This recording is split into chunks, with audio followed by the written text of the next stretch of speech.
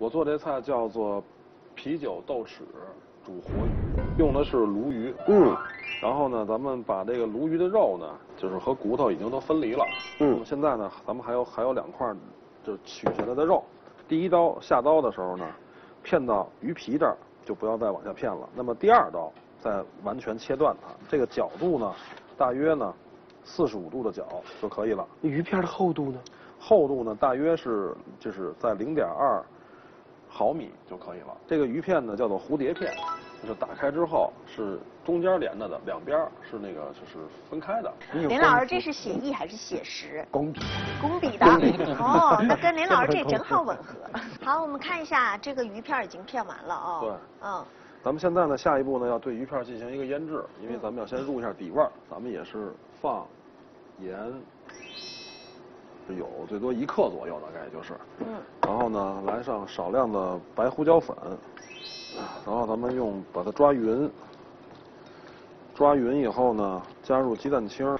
胡大厨加入蛋清的目的是什么？加入蛋清的目的呢，是为了让鱼片在受热的时候呢，通过鸡蛋清呢，能够在食物的表面形成一层蛋白质的保护膜。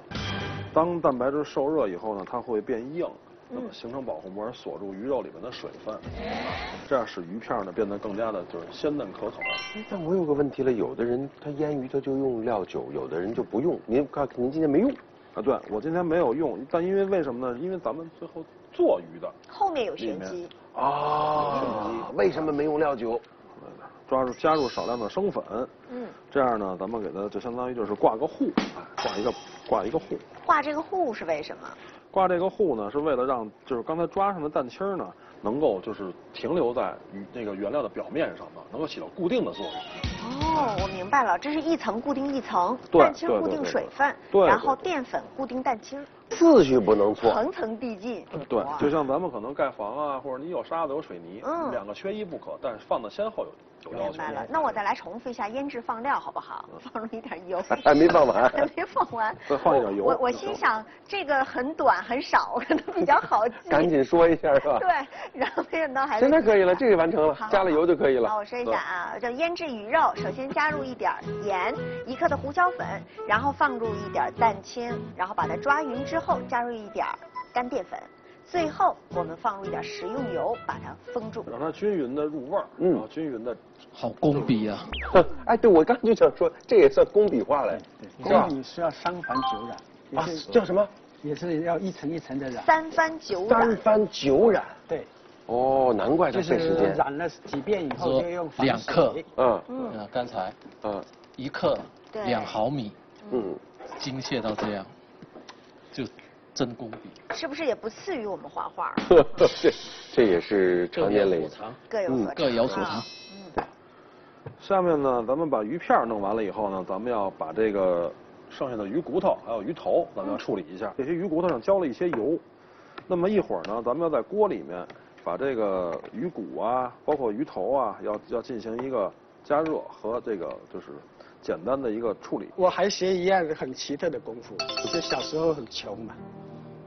连鞋都没得穿，那个样板戏是脚尖舞，就开始学着这个脚尖舞，但是连鞋都没有，是侧脚来斜，所以首先要把那个脚尖给站起来，在墙壁上这样站还不行，还要在一个直角这么站斜站，站了很久那个脚才可以站起来，要走路才可以跳舞，其实就是两个脚趾头，因为那芭蕾舞是是有芭蕾舞鞋的，对对，它是靠鞋的那个尖，但是。我呢，这个少林师傅有二指禅，对了，你是用脚趾二指禅，是这意思吧？对对对。哎呀，绝对是百分之百真。绝对。谢林老师今天还能给我们再演示一下这个真功夫。哦，真的。对，然后我们就期待一下，好不好？您确认啊？说话算数啊！几成热油温煎啊，胡大厨？这个呢，咱们把油烧到大概六成到七成的时候，嗯，然后把这个鱼骨下去。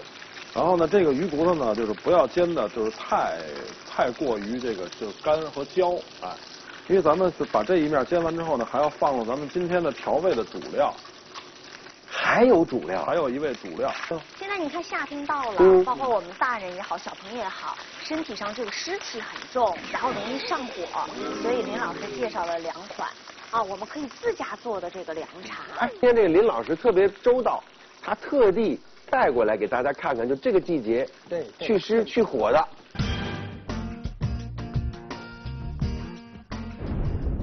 花蛇舌草，这个叫白花蛇草，就是叫龙舌草，龙舌草，啊，龙龙舌草，龙舌草也叫龙舌草。对，哦，它的功效是什么呀？就是清热解毒。清热解毒。哦。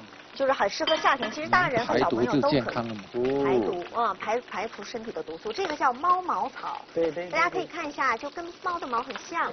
猫须草，对，就猫胡子是吧？猫毛草，猫的胡子就煮水就行了，煮完以后放点红糖，哦，就煮一大锅，所有的朋友来了也可以喝，自己家里人也可以。一大锅大概要放多少这个东西呢？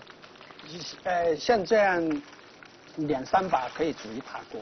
哦，现在咱们把咱们今天调味的主料，哦哦，就是就刚才您说的神秘的嘉宾出场了，豆豉，豆豉，咱们的豆豉，要这个豆豉呢和大蒜呢，一定要跟鱼骨一块儿去煎。哦，是让这个鱼骨也去接收这个大蒜和这个豆豉的香气。对，因为大家为什么要把这个鱼骨先下锅呢？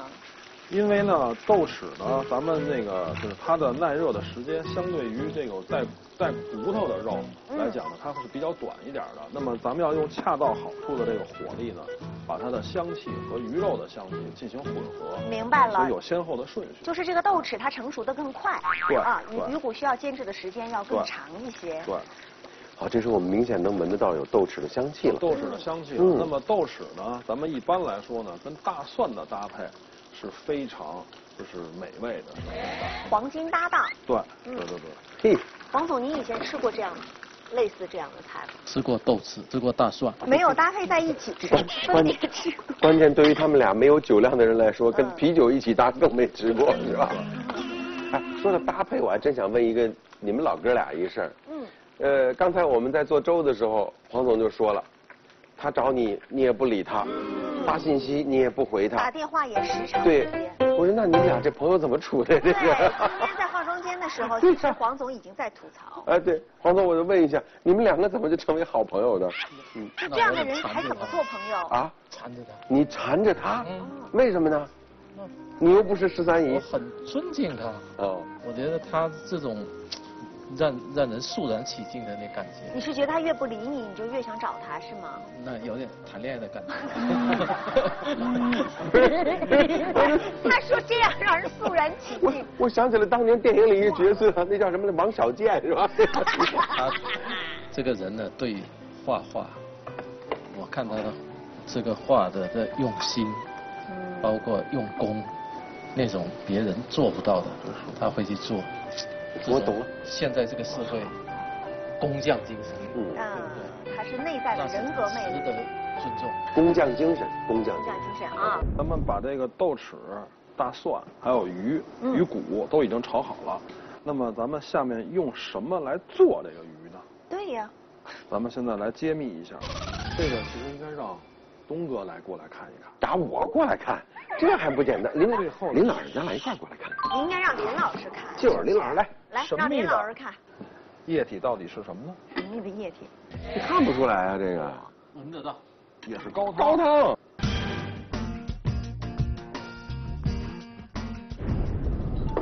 这也是高汤的一种。能闻出什么味道吗？没有。我还是闻不出来。哎，我是闻出来一点点麦芽的香味。哦，对，麦芽糖。是吧？你说这个是有有点感觉了，是啤酒，啤酒花的味道，啤酒，哦，这是这是两瓶啤酒啊，对。啊！哇，鱼骨啊！那吃完就不能开吃了。你有没有发现，其实呼大厨真的是很用心。刚才林老师并没有闻出来，我们这个高汤是啤酒做的，这就说明我们留下了麦芽的酒香气，酒精并没有多少，精华掉了，是不是？对，这个您放心，它没有什么度数。对对。以您老哥俩的这个酒量，没有问题。这一锅加起来不抵你那一钱白酒。对。这我明白了，就是前面腌鱼为什么没放料酒？对，因为到这个步骤它是用的啤酒。对。哎呀，心机呀！鱼骨呢，还有豆豉呢，已经都放到锅里面了。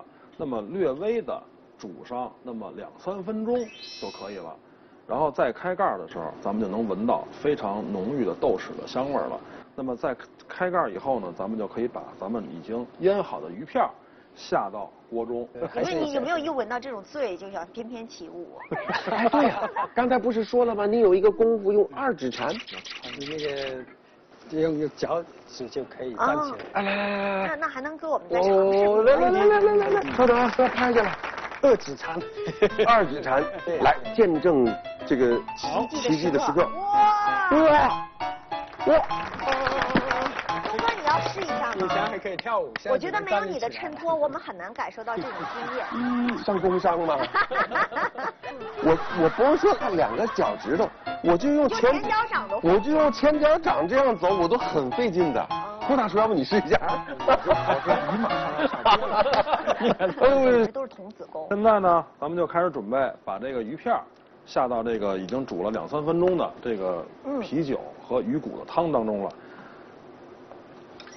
这个下鱼片的时候，我们这个火应该调到一个什么程度？呃，下鱼片的时候呢，咱们现在这个火力呢，就是保持在中火，就是比大火小一些就可以了。因为咱们打的这个片儿呢是，就是蝴蝶片，比较薄哎，相对比较薄一点，所以呢就是不需要长时间的去加热。而且我们的鱼肉相对也比较容易成熟。对。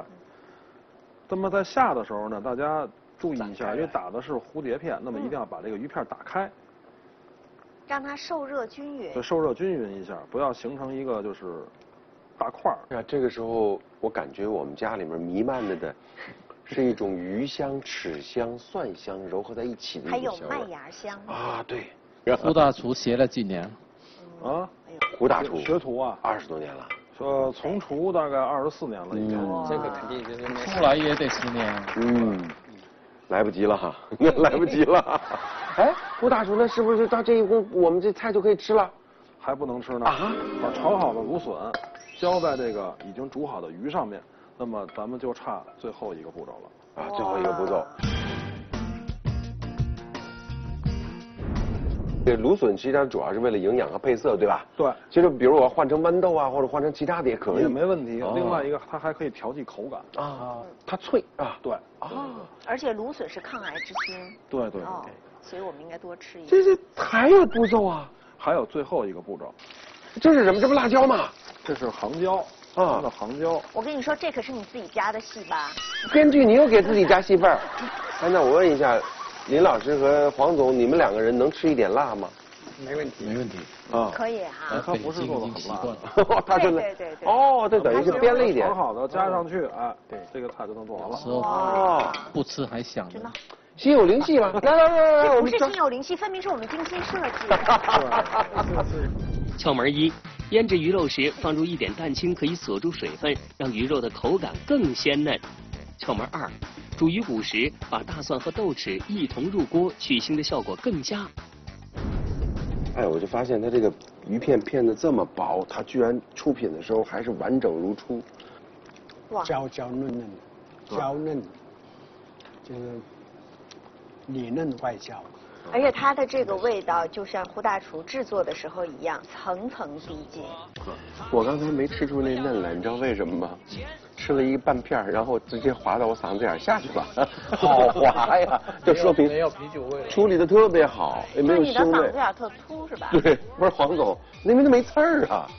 哎呀，好鲜好美，没有什么是一个鱼片解决不了的。嗯，回头给我们画幅画行吗？可要说的也不多，你就就就就我们这屏幕那么大就可以了。